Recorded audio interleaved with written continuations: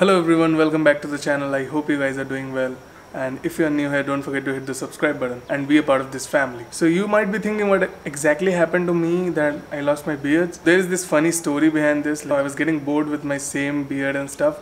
So I thought of like changing my style. So to be honest, I'm like pretty bored with my this look and even beards वगैरह भी shape नहीं कर पा रहा. So I decided कि I will take my beards off and just keep my mustache. And let's see, I have no idea about how I'm gonna look.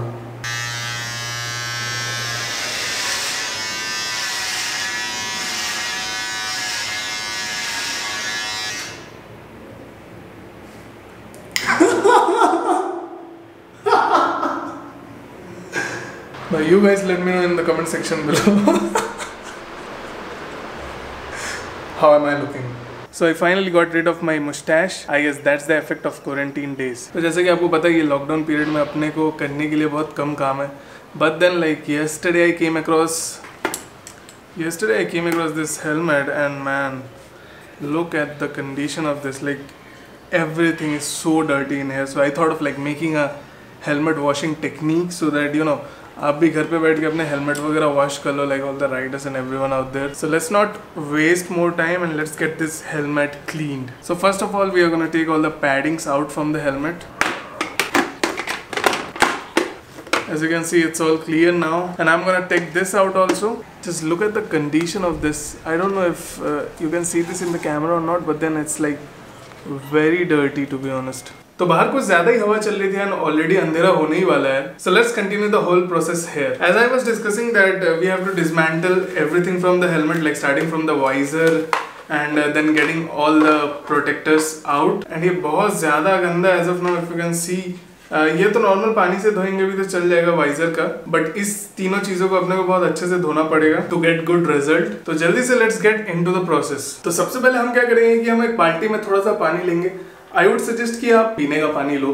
तो मैंने already जितना ज़रूरत था उतना पानी ले लिया है फ़िलहाल। पीने का पानी लेने के बाद हम लोग उसमें कोई सोप या कोई डिटर्जेंट की जगह हम लोग शैम्पू यूज़ करेंगे बिकॉज़ शैम्पू जो होता है वो डिटर्जेंट से बहुत ज़्यादा माइल्ड होते हैं। तो अकॉर्डिंग टू मी जो सबसे अच्छा शैम्पू हो सकता है वो है बेबी शैम्पू बिकॉज़ उसमें वो सबसे ज़्यादा सॉफ्ट रहता है and there is like very less chemical use in it as of now बाहर नहीं जा सकते तो अपने पास जो शैम्पू जो शैम्पू मैं यूज़ करता हूँ I am gonna be using that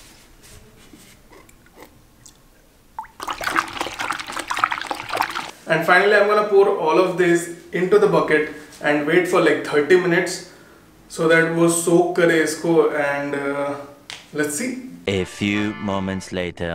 so it's more than 30 minutes now and I don't know but it's like windy quite windy out here तो अगर voice ऐसी नहीं आ रहा होगा तो उसके लिए I'm sorry तो पानी में soak करने के बाद we're just gonna rub it like this and you know इसके ऊपर जो एक्स्ट्रा जो गंदा है वो निकल जाएगा। क्योंकि ऑलरेडी इसको जब हम लोग पानी में सोक किए थे तो इसका आधा जो गंदा था वो वही निकल गया था।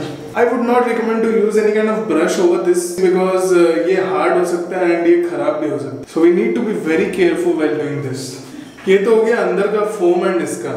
Now comes the visor visor को हम लोगों ने थोड़ा सा पानी में ऐसे जस्ट ढाल के रखा था, इसको सोक नहीं करना है पानी में।